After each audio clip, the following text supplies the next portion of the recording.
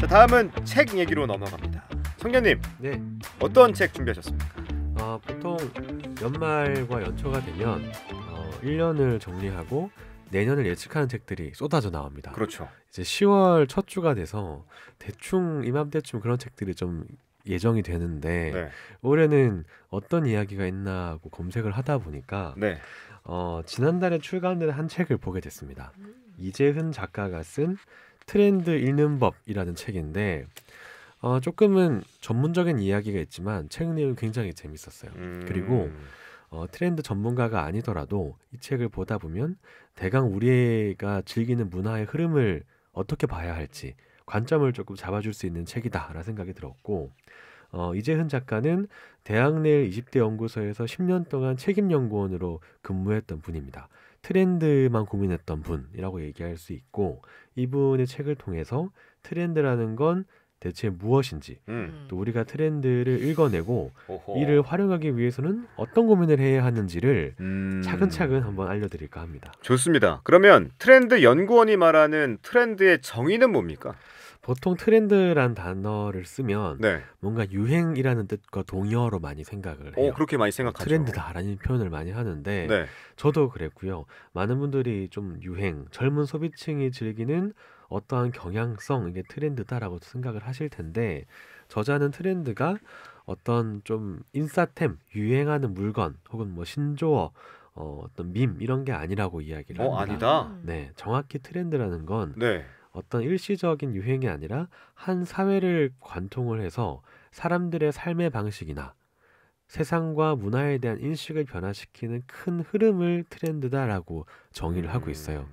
그러니까 달리 말하면 트렌드라는 건 흐름을 넘어서 유행을 넘어서 우리가 하는 일상 전반과 선택에 영향을 미치는 그 무언가, 그 압박감, 그 외부의 작동 이걸 트렌드다라고 정의할 수 있을 것 같고 무언가 큰 차이라고 하면 유행과 트렌드의 차이는 행동에 영향을 미치는 것 이걸로 정의를 할 수 있을 것 같아요. 네. 그래서 트렌드가 사람의 생활 패턴과 라이프 스타일을 변화를 시키고 좀 더 나아가서는 음. 어떠한 특정한 시대의 흐름을 바꾸기 때문에 트렌드를 연구해 볼 만한 가치가 있다라고 저자가 책에서 말하고 있습니다. 네, 이 트렌드를 읽는다는 것이 일상이 어떻게 변화할지를 읽어내는 것과 같은 의미였군요. 자, 그렇다면 예를 좀 알아봐야겠죠. 트렌드의 구체적인 예시를 좀 알려주시죠. 네, 일단 저자는 제 책을 이제 세 개의 부로 나눠서 이야기를 하고 있는데 네, 먼저 트렌드를 몇 가지 유형으로 구분을 합니다. 이게 제일 재밌었어요. 유형. 네, 일단 트렌드를 구분하는 유형은 그 기준이 있는데요. 네, 기준은 두 가지가 있습니다. 하나는 트렌드에 따라가는 동조 집단의 범위, 음. 규모가 얼마나 넓으냐. 그리고 현상의 지속 시간, 얼마나 트렌드가 오래 유지되느냐로 트렌드의 유형을 나누고 있습니다. 네, 다섯 가지 정도 유형을 나누는데 제일 첫 번째 나눠지는 유형은 FAD라고 명명을 하고 있어요. FAD. 네, FAD는 for a day라는 유형의 앞글자를 딴 거고 그러니까 아주 짧은 어, 하루 정도. 일시적인 유행을 뜻하는 단어 맞습니다. 어, 그걸 첫 번째 트렌드의 유형으로 구분을 할 수가 있어요. 네, 가장 대표적인 예시로 탕후루가 나옵니다. 탕후루. 탕후루. 요즘- 좀 오래되지 않아? 포로데이는 아니지 않나? 네, 요즘 탕후루 드세요? 전 안 먹죠. 요즘 한 번도 안 먹어봤어요. 한 번도 안 근데. 들어보셨어요? 네, 네.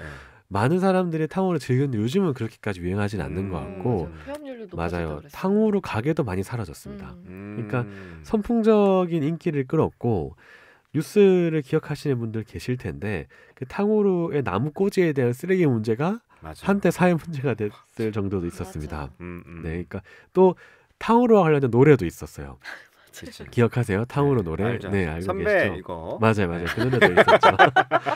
네, 그래서 이걸 예시로 들고 있고요. 그러니까 저자는 FAD 트렌드를 소수의 집단이 동조하기보다는 아주 폭넓게 동조를 하면서 짧게 사람들이 참여하는 경향, 음. 사람들이 짧게 선택하는 그 무언가의 흐름, 그걸 이제 FAD라고 정의를 하고 있고 많은 사람이 쉽게 동조하고 쉽게 선택하고 사 먹어보지만 그만큼 현상의 지속 시간이 짧다는 특징도 있기도 합니다. 그게 FAD 유형의 특징이고 네. 꼭 음식만이 아니더라도 그 쇼폼 챌린지도 FAD에 들어가요. 음. 그 공중에 뜨는 듯한 그 어. 춤 있죠. 맞아요, 맞아요. 네. 네. 그 제가 갑자기 생각이 안 음. 나는데 그게 막 움직이는 맞아, 맞아. 네. 뭐 타듯이 맞아요, 막 맞아요, 하듯이 맞아요. 움직이는- 아, 이거 나도 기억이 안 나. 네, 그 쇼폼 챌린지도 유행을 했었고 네, 네. 그리고 뭔가 이제 따라 춤추는 듯한 숏폼 챌린지, 댄스 챌린지를 보다 보면 일주일이 채 안 갑니다. 음. 요즘 그 네. 야구장에서 삐끼삐끼. 어, 어, 춤추는 거 그거는 있잖아요. 일주일은 좀 넘는 것 같아요. 그거는 조금 넘어가는 것 같긴 어, 한데 그런 다음- 거다 해당된다. 맞아요. 음. 그렇게 숏폼 챌린지가 특히나 FAD에 해당이 될 거고요. 음. 그리고 지난주에 신바님이 소개해 주셨던 흑백 요리사 콘텐츠와 관련된 밈도 음. 요즘 계속 생산되고 있는데 음. 매주 콘텐츠가 새롭게 등장하잖아요. 네. 그러니까 일주일이 안 가요 밈이. 그러네. 만들어졌던 그 애니메이션과 그 유행어가 일주일이 채 안 갑니다. 어. 그게 FAD라고 정의할 수 있는 트렌드의 한 축이라고 보시면 돼요. 근데 다섯 가지 유형이 있다고 했잖아요. 네. 그러면 좀 더 지속성 있는 트렌드는 뭡니까? 네, FAD의 다음 유형이라고 볼수 있는 게 마이크로 트렌드라고 정의를 하는데 마이크로. 네, 여기는 FAD가 다수의 사람들이 한 번 선택하는 경향이라고 하면 마이크로 트렌드는 소수의 집단이 아주 열정적으로 동조하는 트렌드를 말합니다. 어. 그 트렌드를 향유하는 범위는 훨씬 좁은데 훨씬 더 열정적으로 트렌드를 즐긴다라고 볼 수 있고 대략 1년에서 3년 정도 한 트렌드가 이어진다고 해요. 저자는 대표적인 예시로 갓생을 꼽습니다. 갓생? 네, 갓생이라는 단어를 얘기를 해드리면 왜요? 이 갓생은 신을 뜻하는 갓과 인생을 합친 단어잖아요. 열심히 사는 사람들이죠. 맞아요. 엄청 부지런하고 네. 또 그 생산성이 높은 일상을 살겠다라는 어. 신조어인데 갓생은 수많은 사람들이 하는 트렌드가 아닙니다. 아. 소수의 사람들이 하는 트렌드인데 이게 지금 3년 정도 이어지고 있어요. 지금 아마 제 앞에 계신 아나운서님도 네. 갓생 트렌드를 어, 동조하는 사람이 아닐까 그렇죠. 싶은데 어, 좋아하긴 하죠. 맞아요. 노력하려고 합니다. 열심히 살고 네. 계속 뭔가 아침에 어 일찍 일어나서 뭔가 생활하시려고 하시고 어, 갓생 특정 날만 그런 거. 아 그런가요? 그래서 뭔가 새벽에 일어나서 러닝을 하거나 음. 운동을 하거나 공부를 하거나 또 밤까지 자격증 공부를 하고 이분들의 특징이 네. 식단을 조절하신다는 게 있어요. 어. 아주 길게. 그리고 그분들끼리 커뮤니티를 만들어서 서로를 동조하면서 응원을 해 나가는 이게 바로 마이크로 트렌드라고 정의를 음. 하는데 저자는 이런 트렌드의 힘이 뭐냐면 유행을 넘어서 이런 갓생 문화가 헬스케어 시장, 영양제 시장, 건강기능식품 시장을 견인하고 있다는 사실에 주목을 음. 합니다. 그러니까 마이크로 트렌드인 갓생이 등장을 하면서 이게 트렌드가 되고 선택을 동조하게 되면서 새로운 시장이 유지되고 확장한다라는 거예요. 음. 그러니까 트렌드라는 게 특정한 시장을 만들기도 하고 어, 유지할 수 있는 힘이 있다라는 걸로 볼 수 있는 거죠. 네. 식단은 안 하고 있는데 저도 네. 식단을 한번 해봐야겠습니다. 완벽하게. 아, 자 그렇다면 남은 트렌드 유형도 지금 우리의 일상과 소비 생활을 좌우하고 있는 힘으로 봐야 하는 게 맞습니까? 맞습니다. 지금부터는 이- 이제 저자가 설명하는 다음 유형의 트렌드들은 훨씬 더 광범위한 트렌드고 어, 기대돼. 뭘지. 네, 그냥 일상 전반을 다 좌우하는 트렌드라고 보면 되는데 네. 그 다음으로 나오는 트렌드 들어보셨을 거예요. 메이저 트렌드, 메이저 네. 트렌드. 메가 트렌드 이렇게 점점 넓어지는데 어, 그러네. 동조 범위가 이제 국가 단위로 넘어가게 되고요. 지속 범위도 3년, 5년, 10년 이렇게 유형을 나누고 있습니다. 그 메이저 트렌드의 가장 대표적인 예시는 뉴트로예요. 음. 뉴트로.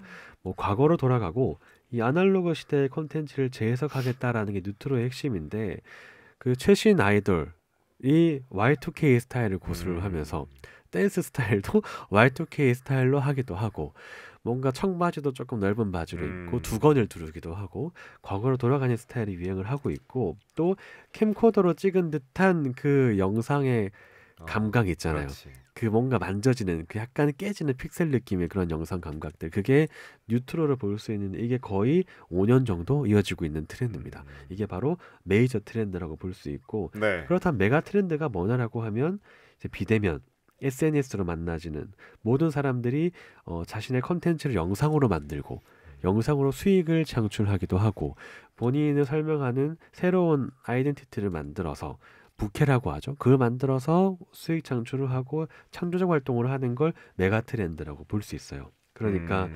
메가 트렌드는 이제 전 글로벌 단위라고 볼 수 있을 것 같고 지금 우리가 너무나 당연하게 여기는 것들의 시작이 메가 트렌드라고 음. 볼수 있습니다. 이렇게 유형을 나눠서 보니까 좀 이해하기가 쉽네요. 네. 확실히. 자 그렇다면 전문 트렌드 연구원이 말하는 트렌드를 찾는 방법은 뭡니까? 네, 이걸, 이건 아마 다들 궁금해하실 것 어. 같은데 어떻게 찾아요? 책 내용이 생각보다 엄청 친절하게 되어 있어요. 음. 그러니까 이분이 연구원으로 활동을 하시다 보니까 그분의 연구 노트를 좀 보신 보는 느낌이 음. 좀 들고 예시가 아주 상세하게 잘 들어가 있고요. 꼭 한번 연말 정리하면서 보셨으면 좋겠고 일단 이 책에서 얘기하는 찾는 방법이 되게 막 광범위한데 네. 그 중에 조금만 소개를 드리면 첫 번째는 트렌드를 수집하는 방향을 먼저 구체화해야 한다는 겁니다. 왜냐하면 너무나 많은 콘텐츠가 쏟아지고 있고 트렌드에는 마감이 없다는 특징이 있어요. 음. 계속 생산되고 있기 때문에 그래서 계속 본인을 노출시켜서 이 자극을 확인해야 하는 과정이 꼭 필요하기 때문에 이 시장에서 중심이 되는 건 오직 하나밖에 없습니다. 나의 목적성. 목적성. 네, 나의 목적성만이 오이 유일한 하나의 기준이 되고 음. 내가 무엇을 목적으로 트렌드가 되는 자료를 수집할지 그 방향성을 뾰족하게 잡을 수 있는 건 어, 나의 목적이 된다. 그게 기준점이 된다라는 이야기를 하고 있고 그 기준점을 통해서 소비자 타깃, 주요 트렌드 분야, 트렌드의 최종 결과 이렇게 세 가지로 구분을 합니다. 그러니까 얼마나 파급력이 높으냐, 얼마나 나의 대상이 되는 세대가 보느냐 이런 걸로 규, 구별을 할 수 있다라는 거고 두 번째는 트렌드 수집 채널입니다. 어, 수집 채널? 네, 워낙 그 쇼폼 콘텐츠가 다양하기도 하고 네. 또그 전통적인 미디어도 많아서 그 내가 필요로 하는 트렌드와 대상에 머무는 채널을 이해하는 게 중요해요. 아. 나눠 보면 온라인 미디어 채널인지 음. 아니면 유통 커머스 채널인지 아니면 일상인지를 구분할 필요가 있다라는 거죠. 또 그 다음은 콘텐츠 아카이빙입니다. 제가 이 책에서 가장 흥미롭게 읽었던 부분인데 여기서 어떤 콘텐츠를 어, 기록하는 것만이 아니고 이 모아놓은 콘텐츠를 연결한 이야기를 하고 있어요. 연결한다고요? 맞아요. 어떻게 연결을 하냐면 서로 다른 트렌드처럼 보이는 어떤 챌린지를 가져오고 네. 이 상이한 챌린지 안에 숨어 있는 의미가 뭔지를 구별하는 겁니다. 예를 들어서 네. 뭔가 어 인테리어 우리 집 인테리어를 소개하는 콘텐츠가 있고 음. 그리고 어 어떤 유럽의 집을 소개하는 콘텐츠가 있다라고 하면 이 두 개를 연결해서 내 집에 대한 소유욕, 내 공간에 대한 갈망이라는 방식으로 음. 트렌드 안에 숨어 있는 행간을 읽어내는 방식이고 어. 무언가 요즘 유행하는 음식에 대한 챌린지가 어, 모찌가 있다거나 아니면 또 새로운 온천에 대한 트렌드가 나온다라고 하면 비슷한 시기에 나온 두 개의 콘텐츠를 보고 뭔가 일본 여행에 대한 욕구가 숨어 있다라고 음. 읽어내는 방식인 거죠. 그러니까 상이한 상이한 콘텐츠를 보고 그 안에 숨어 있는 행간을 읽어내는 게 사실 아카이빙을 통해서 할 수 있다. 비슷한 시기에 등장하는 콘텐츠 안에 숨어 있는 행간을 이렇게 읽어낼 수 있다라는 이야기를 하고 있습니다. 네. 아주 도움이 많이 되었던 부분이고 이 저자가 말하는 트렌드라는 건 단순히 어떤 유행이 아니라 우리가 어떤 과정으로 생각을 하고 선택을 하고 소비를 하게 되는가 그 전반에 무엇이 있는가 음. 그걸 어떻게 정의할 수 있는가라는 걸 트렌드라는 단어로 하고 있고요. 우리가 사실 직접 선택을 한다, 내가 선택을 했다라고 생각을 하지만 그 이면에는 이렇게 영향을 미치고 있는 어떤 문화적인 힘이 있다라는 것, 음. 그게 이 트렌드 읽는 법이라는 책이 저는 핵심이 아닐까 싶습니다. 네. 요즘 뭐 트민남, 트민녀라는 표현도 유행이잖아요. 트렌드에 민감한 남자, 여자를 뜻하는 말인데 그냥 생각 없이 유행을 쫓아가기보다 그 속에서 세상을 읽고 다가올 또 다른 흐름을 짚어내는 능력을 키울 수 있다면 금상첨화겠죠. 트렌드에는 마감이 없다. 이 시간 역시 세상을 향해 관심의 문을 활짝 열고 소통하는 시간이면 좋겠습니다. 자, 오늘도 좋은 책과 영화 그리고 그 속에 담긴 세상의 흐름, 트렌드를 함께 좀 짚어봤습니다. 지금까지 컬처클럽 청년과 신바 우동준 신보라 두 분 귀한 말씀 고맙습니다. 네, 네, 감사합니다. 감사합니다.